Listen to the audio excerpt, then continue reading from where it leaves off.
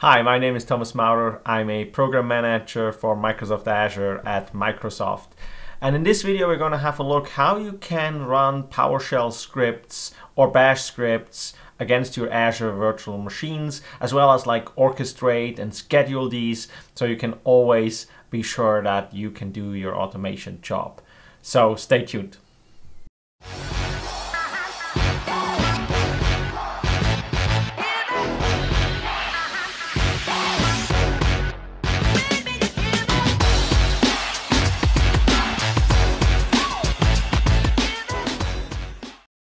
Welcome back. So in this video, we're going to have a look how you can run scripts or automation against your Azure virtual machines uh, and actually schedule these scripts and make sure that you can use an identity to actually run against these to make sure that everything is secure.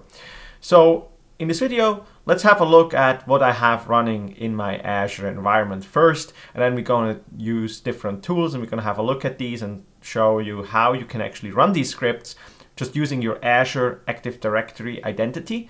Uh, and then have a look how we can actually take this now and making a recurring uh, runbook uh, with Azure Automation. So here we are in the Azure portal. And as you can see, I have a couple of virtual machines running here. And usually they have all like different probably logins and passwords like in the operating system as well. So to understand what we can do is, since all of these are Azure VMs, they have the VM guest agent installed. And that is used to communicate with the Azure backend to do like backups and make sure that they're consistent and do some automation tasks. Also when you like do some stuff like shutting down the VM in the portal and things like that. Um, but we can do some other cool things like reset your password or run a couple of scripts. So let me show you uh, that quickly in the portal, but we will then use the command line because that's what we try to achieve later on. So if you go to your Azure Virtual Machine and you have all your great options here, if you scroll down, um, what you have here is run command. And if you hit run command, um, it's a simple tool, like it gives you a couple of options so you can do your own PowerShell script. That what we is what we're going to use in just a bit. But then we also offer you a couple of like very uh, commonly used things you might need, like to, uh, for example, um, disable Windows updates for a while, or to like enable PS remoting, to enable Windows updates, to reset, for example, the RDP configuration and so on to make sure that like if you locked yourself out, um, you can basically get back uh, to your machine.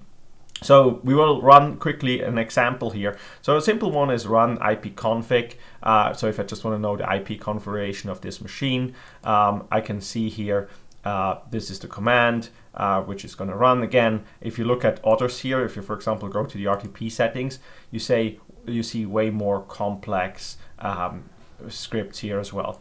So again, just run the ipconfig one, and this will take a while uh, to actually complete and we'll actually go and, and run that script. It now goes and sends off these to the Azure um, control plane. And from the Azure control plane, it connects to the VM guest agent and runs that configuration and then brings back the output from that command. So we just give it a second to complete. And you can see here, I get the, the output of that script. Now, again, the great thing about this is you can run your own PowerShell scripts. So uh, you could like basically run your own commands here uh, or whatever you want to do with this machine. Um, and by the way, that also works with Linux machines. So in that case, you would just run a bash script against that machine, or you can like run Python or whatever you basically need on that machine as well. Um, so let's have a look how that actually looks in the command line. Since we want to make this repeatable, we need to have some code. And for that, I'm just going to open up the Windows terminal here with uh, PowerShell. Um, and so let me quickly uh, minimize this and just bring up um, this one here. So what I can do here is let's, I'm already logged in to my Azure PowerShell, right? So I can do get Az VM. Uh, and what I get here, I get a list of my Azure VMs, the ones you just uh, saw before. Uh, you can see here I have uh, my, for example, my Azure, my TT Azure um, uh, WinVM01. We're going to use that one as an example throughout the demos here. But you can also see I have a couple of Linux machines as well, and we, we could also leverage these. You can see the resource group and so on. So there's a commandlet called invoke AzVM run command. And if we use that, we can actually go and um, run this command as similar as we did in the portal, but directly from PowerShell. Again, there's also something for the Azure CLI. And if you're using the CLI or PowerShell in Cloud Shell, that works absolutely fine too there. So um, let's go and um, find that command. Now, you can see here, by the way, if you're asking what this is, this is PowerShell Predictive IntelliSense with the Az Predictor module. Now, what that does is it basically looks at my history of what run commands and it also looks at documentation and basically suggests commands to me and gives me examples. So if you want to watch a video about this, go to my YouTube channel, you will find that video um, and it really is really super helpful as you can see. Uh, because now I can just go and see, hey, there's an invoke AzVM run command. Let's go there. And you can see here it gives me an example. So it shows me the command itself. It says, okay, I need to add a resource group. I need to add a VM name, and then I need to run um, like the script and give the script path. So I can just hit like, for example, now Alt A. And so I go to the resource group name and then type the resource group. So this is Azure VMs RG. Then I can hit Alt A again, and then I go to the VM name. And here this is TT Azure WinVM01. And then I can go and hit Alt A again and basically say, hey, what script do I want to run? I have already a script prepared. It's called my script. So if we want to have a look at that, uh, how that, what, what's that actually doing? It's a very simple script. So if I open up Visual Studio Code here, it's just running a get service. So if I go back here, um, I, if I now run that, you will see again, this will take a couple of minutes, but basically it's doing absolutely the same thing we just saw in the portal, but it uses a, um, a PowerShell script to do um, that from the command line. And voila, this is the output we are getting. So we get all the services running on that machine as the output. Um, so we can now leverage that and I just use Azure AD, right? If I have a contributor rights to that machine, I can basically use run command uh, to do so. So now if we want to do some more complex things and actually schedule some tasks, so I can go back to the Azure portal. And here I'm going to use a service called automation, Azure automation. And basically what I did already, I created an automation account and Azure automation is really powerful and it can do a couple of different things. Um, but one thing we're going to look at is the capabilities of running runbooks. And runbooks are nothing else than um, basically a PowerShell or Python uh, script you can run. So for example, if you're going to create one, um, let's do a sample zero one here. I can choose what runtime I want to use. In this case, I'm going to use um, PowerShell uh, but you see here also options for Python and, and other PowerShell options. But let's go for uh, PowerShell here. I can then choose which PowerShell version I want to run. Uh, I could do 7.1 and get the latest uh, and greatest. And then I could just create that. And this creates now a way for me to basically enter a script here and I can write that and like say, hey, get, get AzVM and I could automate that. I can then save it uh, and then publish it and then basically use it. Now, where does that run? So that runs on some Azure worker nodes. I don't need to care about these. These are just like spinning up temporarily for me in Azure. So whenever I run this, it will just use one of these Azure nodes uh, and basically run that script.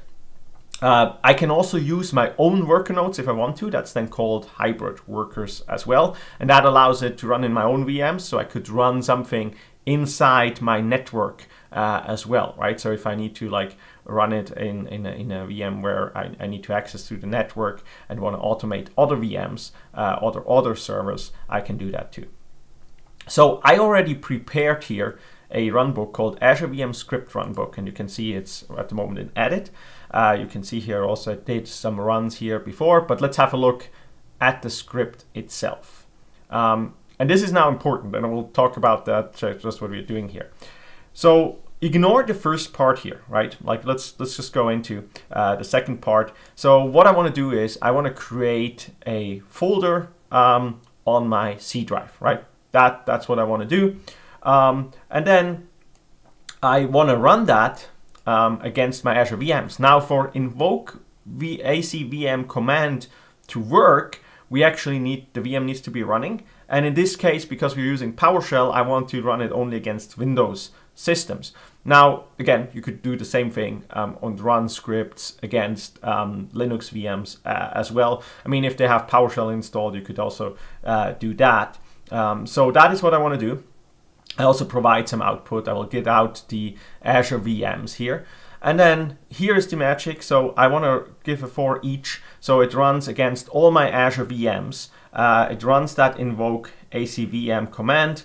And as you can see here at the end, I just use that script code, which I defined up here. Now, in many cases, your script code there is probably way more um, uh, sophisticated than just a single command. But in some cases, absolutely fair to just like have this single command.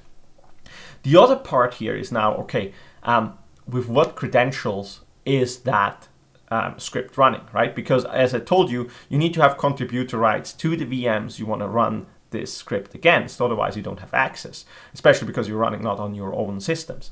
So that's the great part here. We can use a managed identity. So I have this command which locks in Azure PowerShell, and with the dash identity parameter, uh, you can basically use a system account, like a managed system identity. So we're gonna have a look how that looks like.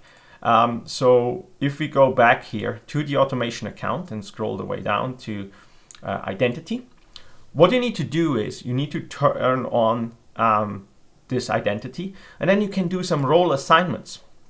So what I have done here, I gave contributor rights on this specific resource group. So you could basically do role assignments like for subscriptions as well, for resources. Uh, but in this case, I just basically said, hey, you have access to everything or contributor rights to everything in that specific uh, resource group. So now this managed identity, so whenever that like um, automation accounts runs a script and we use that identity, um, then we can basically leverage whatever permissions we have there. So if I would do a get AzVM in that um, uh, runbook, which I'm doing, uh, I only get the VMs in that specific resource group. So no need to like store any passwords or credentials uh, to do that. If you need that for something else, there's also ways to securely store your credentials um, in the automation account um, or in, in, a, in, a, key vault and then get them out of there uh, when the runbook runs. So don't please don't store any credentials um, in the script itself.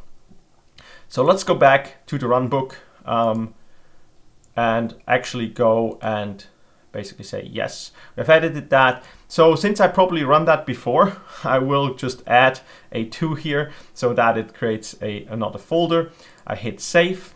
And then, so if I'm working on this new version, like if I update this, I could now just hit save and work on it and keep on working. Um, but then if I want to say, okay, now it's live, it's like ready to use, I hit the publish button and you can see here, getting information that the runbook is now uh, live and overwritten the old one. Uh, by the way, um, you also have Git integration for source control, so you can like work with your um, uh, scripts uh, actually or your runbooks uh, and save them to a Git repo um, and, and make sure that there's a, a nice um, repository of these runbooks and you have all the, the, advantages of using Git. So let's start that um, script and let's just run it. So this we're going to start that runbook, uh, and this obviously will take a while to run. But um, so we go to output, and we will it will now go to an Azure uh, worker here. Um, and again, if I hit refresh, the first command now, like is my my comment. You can see here uh, said, hey, please log in um, using uh, our managed identity. And if I hit refresh again and I waited long enough, I will get like uh, the message that I'm actually successfully um, have logged in using the managed identity. you can now see I have now logged in with my managed identity and now it starts to run the script. So um, this is now the output I get because I have put that in my script that I see, okay, against which uh, systems is this running. So it only runs against um, VMs in that resource group because that's only where I have permissions. Then it checks the VM is running and then it checks that it actually is a Windows machine because this, this command, like what I just wanted, I just want to run against Windows. But again, you can filter that the way you want. And then it will run that. And you can see here now it actually completed uh, um, that runbook and succeeded. I don't have any errors. So this is now, I created a folder there and it makes it super easy to run this. Now, I know now it works, and now maybe I want to do this, maybe not create a folder all the time, but maybe restart the service or um, uh, do anything like uh, set the registry or um, key or remove a registry key over time. So I can actually go and build a schedule. So I hit link to schedule here. And what I can do is define a schedule. So let's add a schedule here and say, hey, Thursdays. Um, I mean, maybe you be some, uh, maybe you are a little bit more descriptive than I am, but you can then say, hey, when do we actually want to start? So I say next Thursday, and then I can actually go and set the time, and I can make this a recurring uh, event and say, hey, let's do that like every week, and every Thursday we're going to do this. Um, no expiration date set, so I hit create, and now I have that schedule. Now, if I want to use the same runbook multiple times, I also have the possibility to use parameters from the from that runbook. So when I schedule this, I could basically say, hey, on Thursdays you have the following uh, parameters, or if you run the same thing um, on Tuesdays, you have different parameters, right? So I can actually go out and set this up. And also, it here says again, um, this runs on Azure workers. Um, if you have hybrid workers set up using Azure Arc, then you can also run it on machines on premises, for example. So which is pretty cool to automate and orchestrate machines running on premises or even at other cloud provider. So you can hit OK, and now you link that schedule, and now every Thursday basically goes out and runs that script um, and, and make sure that it's running. So this is a super easy way of automating your um, Azure VMs um, with using Azure Automation and schedule these runbooks and orchestrate them and run these scripts against Azure VMs. And again, if you're working with Azure Arc and you want to run these on premises or at other um, servers running at other cloud providers, you can do that too with using hybrid workers. So I hope this video was helpful. If you liked that video, hit the like button, uh, subscribe to the channel, and I hope to see you in the next one you